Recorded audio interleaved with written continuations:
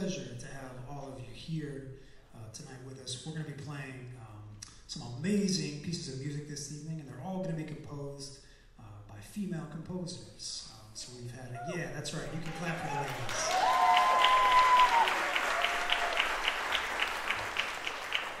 Yeah, we have some amazing music, but uh, we're going to start off uh, the night with uh, with the, the first mother of jazz. Uh, her name is Mary Lou Williams. She's a pianist, and she grew up in Pittsburgh. And from a very young age, uh, her mother would actually take her on her lap and uh, uh, to prevent her from running around the house. so while her mother tried to play piano, uh, her daughter was running around breaking things. So she would put her on her lap, and she started to play the piano uh, instead of breaking things. And so um, uh, that was where Mary Lou Williams got her start. And now uh, she eventually made her way to just about every single band jazz history that we've heard of. So she wrote charts. She was well known for Andy Kirk in the Twelve Clouds of Joy. That was that was where she kind of made her first um, big debut. Which, if you are a jazz connoisseur, this was like early pre-big band, big band. And uh, she was kind of responsible for making them a national hit. And then uh, from there, she worked with Duke Ellington. She worked with Count Basie. She worked with just about every uh, uh, major jazz musician that you've ever heard of. Um, she mentored all the musicians. If you were here last semester, we played all bebop music. Charlie Parker, Dizzy Gillespie, Bud Powell, Thelonious Monk, all these people. Um, she mentored all of them. None of them would have made any of the things that they made without Mary Lou Williams' mentorship. Uh, so we call her the, the first mother of jazz. We're about to play one of her pieces here. We call this one Roll 'em.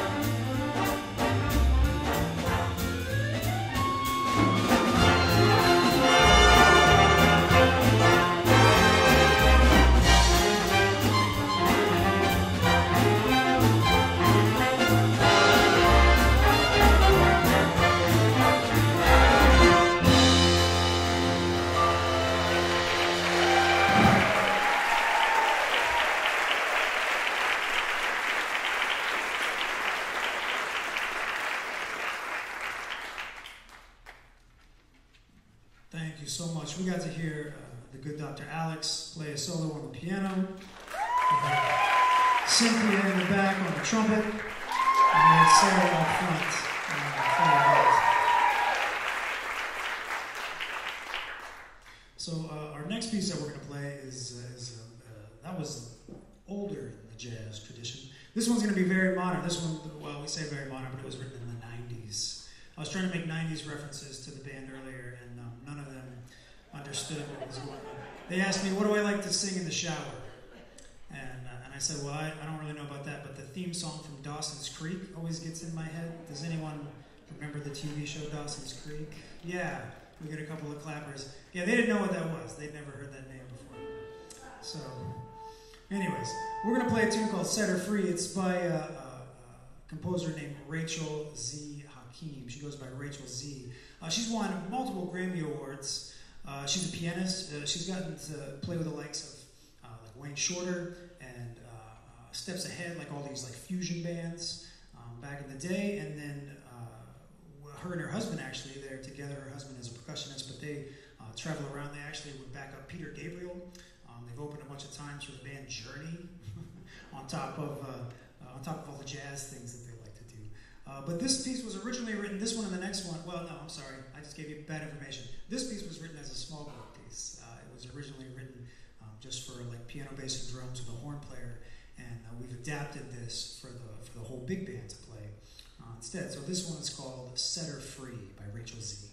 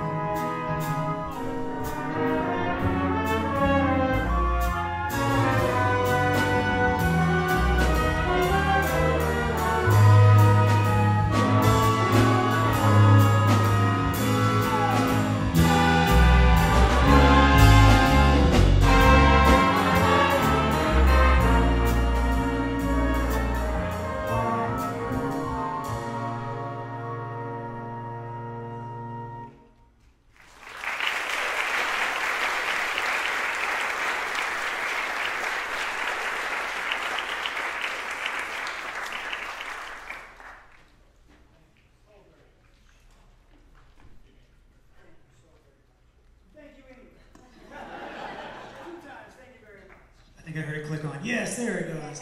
The next piece we're going to play is called Africa Remembered, and this one is by a composer called uh, Cecilia Smith, and she was um, called the, probably the best vibraphonist that you've never heard of. Um, she uh, she started out on piano and then quickly moved over to uh, different kind of percussion instruments, drums, uh, hand percussion, and then vibraphone. If you don't know what the vibes are, um, it's that guy right there. He's the vibes. It's not a xylophone, all right? It's a vibraphone. Big difference.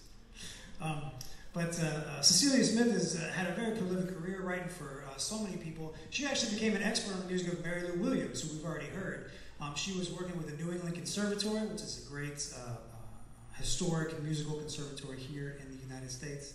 Um, I wrote down the name of it. It was the, the Mary Lou Williams Resurgence Project, which you, if you like her music or you're interested in learning more, you can you can go research that a bit. But uh, uh, she had this residency there the conservatory and uh, basically researched all of her music and, and uh, played a lot of that music and um, maybe filled out parts that were missing and helped just bring a resurgence and uh, more awareness to Mary Lou Williams.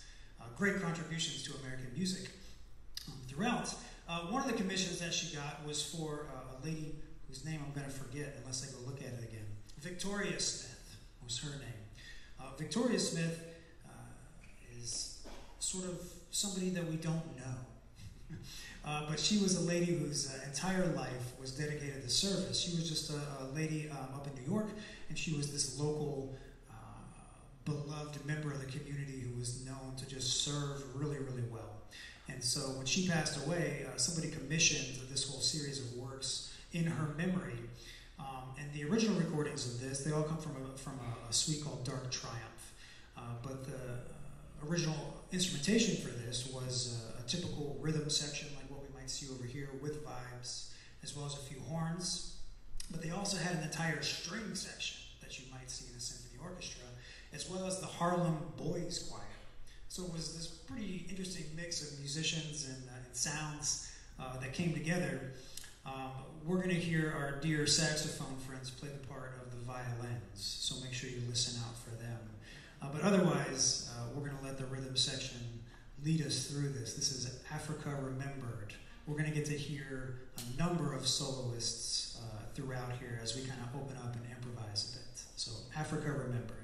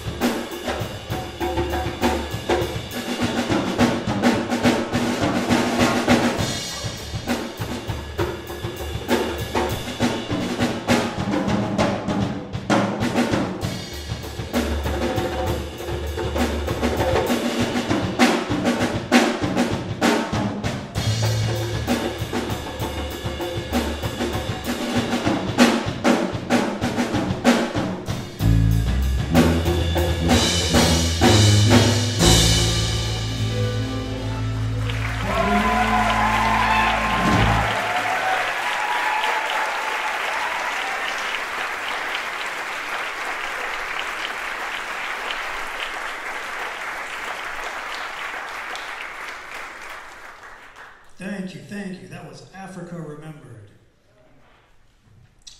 Our soloists in order. Uh, we had our two trombone players. We have Brian and Sebastian.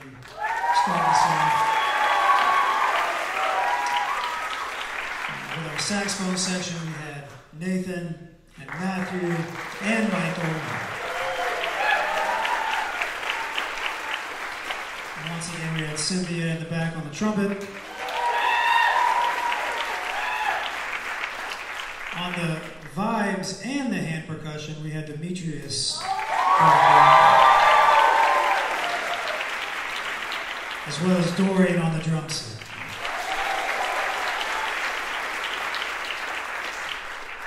So our next composer and our next piece uh, is a very, uh, a very modern piece again. Her name is Maria Schneider, and she's probably one of the more uh, well-known composers in modern jazz, and especially amongst female um, composers. She's, uh, she has these amazing sounds, and um, I've had the pleasure to meet her a couple times, and she's very small. Um, that was my first impression. I thought, oh wow, she's so small, and uh, and it was because when you hear her music, there's so much power and like bigness to the music. And then when you see her in person, and she's, I was like, oh, you're so tiny. How do you make such big sounds come out of a band? Um, but she's a, an amazing composer and a, and, a, and a, really great advocate for artists. She hates YouTube. It's great. If you ever get a chance to listen to her talk about YouTube and streaming services, she absolutely hates them. It's, uh, it's, it's actually, and it's funny because Google hates Maria Schneider too there's a, there's a very well-known battle in the musical world between Google and Maria Schneider. She's such a force that it's her, one person versus Google, and she's winning. Is pretty great. yeah, you can clap for Maria Schneider. That's cool. She, um, uh, one of my favorite stories about composing actually comes from her because she went to several schools. She's from Minnesota. She went to Minnesota State uh, University, and then after that, she went up to Eastman School of Music, which is in New York. Uh, very famous uh, school of music up there, uh, where she got her master's degree.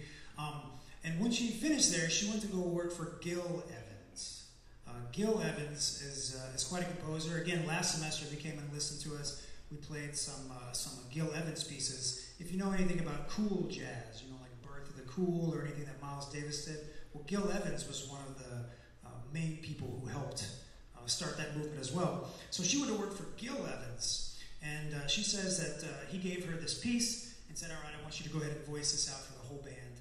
And she said she used all of her Eastman approved voicings for the trombone and everything. And Gil Evans walked in and saw everything and said, No, I hate it.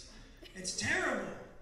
And uh, he wanted to hear all the crunch. He wanted to hear all this like dissonance. He wanted to hear the strain in the instruments. He had all these sounds in his head. And uh, they didn't follow the Eastman approved curriculum. So she uh, she learned all these amazing things in school, and then she got to go and sit with somebody as legendary as Gil Evans, and really learned uh, to make some uh, some amazing sounds as well. So this piece actually comes from the late '80s. This one is from I think 1987. It's a, it's, a, uh, it's one called Green Piece. Uh, this is an example for those of you keeping track. This is an example of what we call modal jazz. So next time you go out to your party and you're talking to all your friends, you can say, Have you heard that modal piece by Maria Schneider? And they'll be very impressed.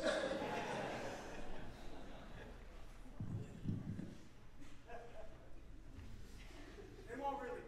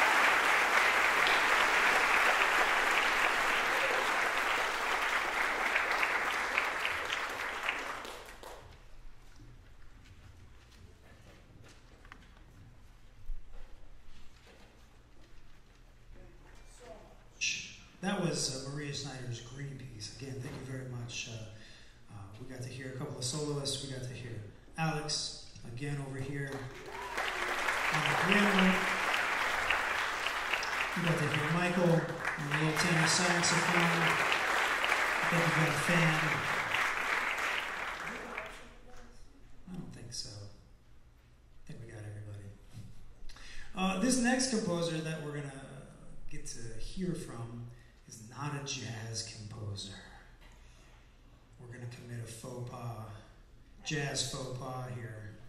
Um, she has written 181, I think. Oh no, sorry, I missed up my numbers. 118 uh, top like top Billboard hits.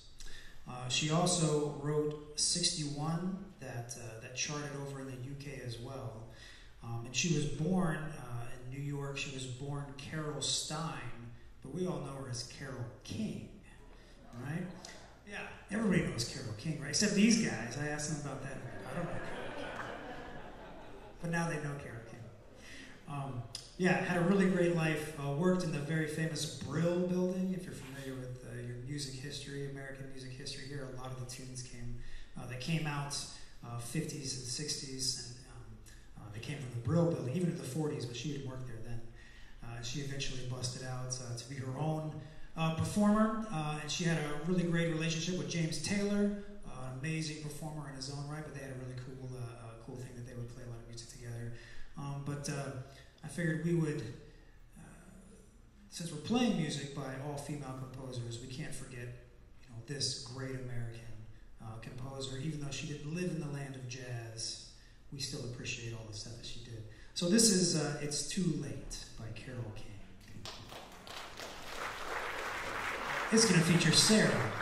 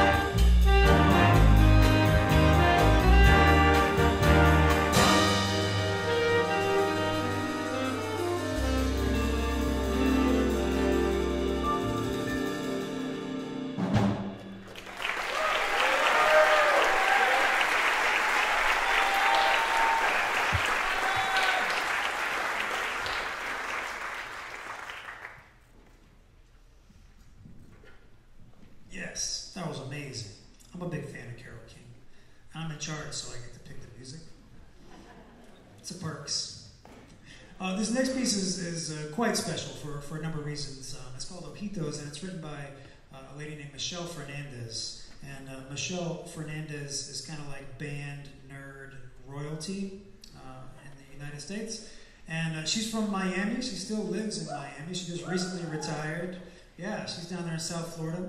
And um, uh, she has kind of this legendary uh, music program. She took her high school bands uh, all over the world. They've played at this uh, very large conference called the Midwest Conference here in the U.S., which is in the Midwest, you got to guess. Um, she's taken them to, there's a thing that's, that we call the JEN, well, it's called JEN but it's the Jazz Educators Network. It used to be IAJE, and uh, she took her band to IAJE and JEN, so both eras for the organization. Uh, big uh, jazz uh, uh, conferences. She even took them to Montreux Jazz Festival, which is in Switzerland. Um, so she took this high school band internationally uh, and has written a lot of different pieces, not only for jazz band, but for concert band, you know, wind ensemble, symphonic band, as well as some orchestral pieces that you might hear with strings and everything. So very prolific writer, and even now in her in her retirement, she's become even more active, popular. So um, keep an eye out for Michelle Fernandez uh, when you're out there listening to tunes because she's. Um, uh, she's writing a lot of great stuff. So this piece is, is called Ojitos, and she initially took her bands uh, out to the Midwest Conference, and they played this piece. I think it was in 1998. Was that? Does anybody else know? No. They don't know. Now, Michael says, yeah, so we're going to go, yeah, 1998. And it was written for her son. Um, and uh, her son uh, actually passed away just a few years later uh, while, was, while, he was still a child. And uh, she, put the, she put the piece away. She put a lot of music away. And she didn't return to, to some music in, um, uh, from that era for a number of years. And uh, she happened to be going through her old pieces. And she found a recording from that conference when they premiered this piece. And they, and they played it. And she uh, had all these great feelings again. You know, as he loved so much about that era and so much about the music and the memories of her son. Uh, so it became uh, uh, very special to her again and kind of helped her, you know, find herself again. So this is called Ojitos. It means little eyes. Uh, and we're going to get to hear the good Dr. Bass back here, Mr. Gavin. He's going to he's going to lead the way for us.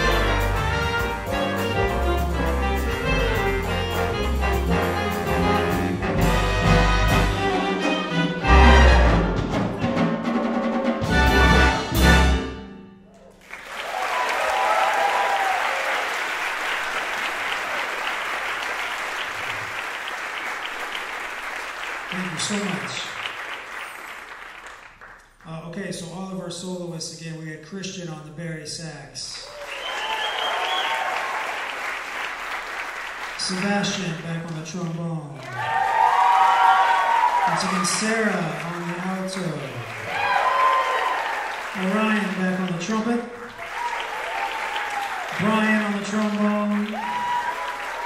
Cynthia on the trumpet.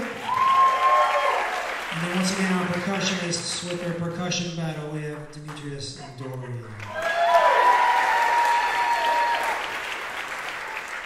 So we've, we've We've come to the end. I know. I know. We've got drinking to do, though. So I'm just kidding. They're all in college. They're too young for that. Um, uh,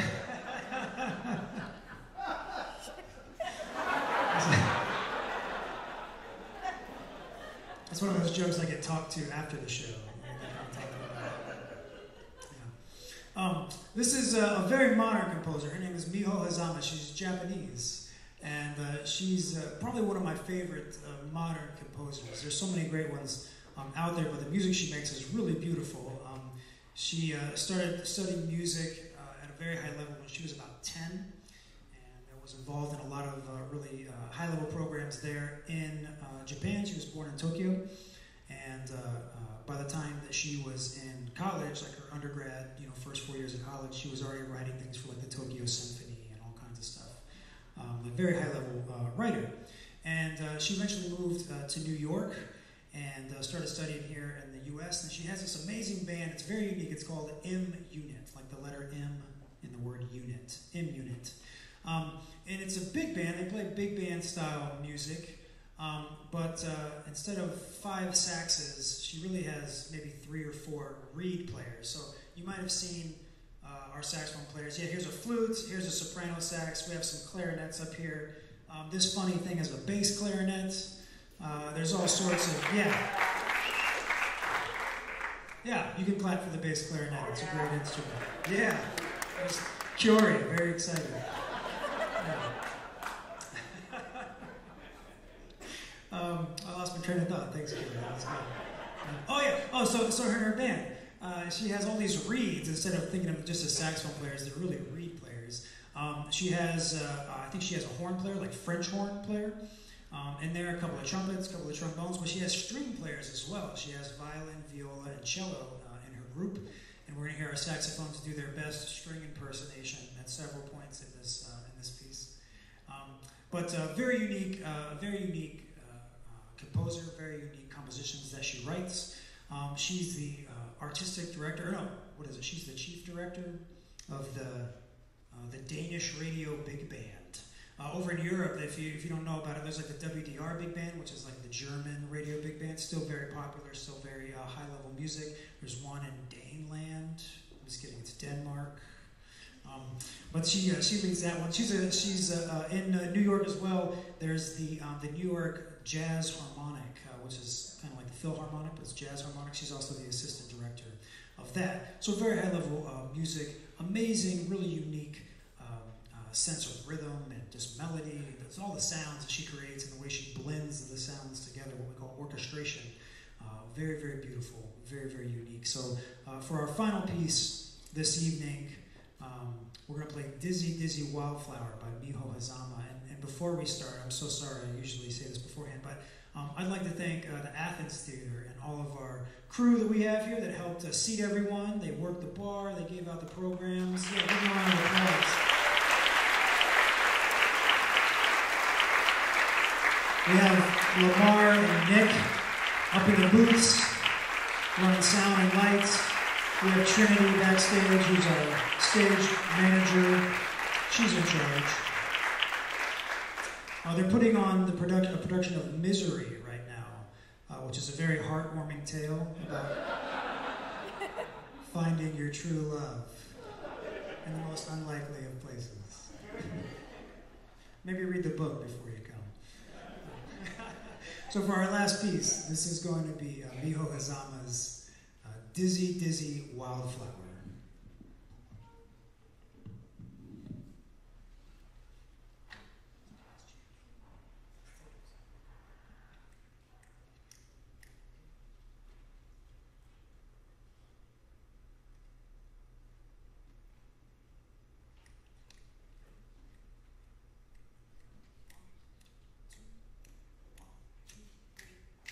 Bye.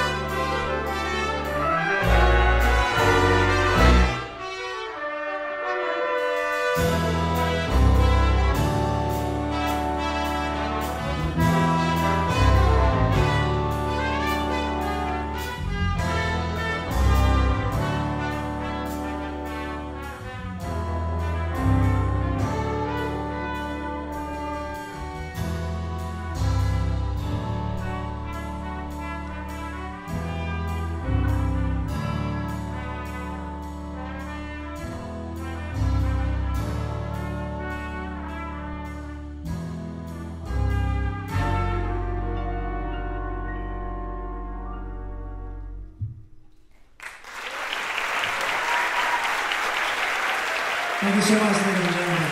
Stetson University Jazz Band.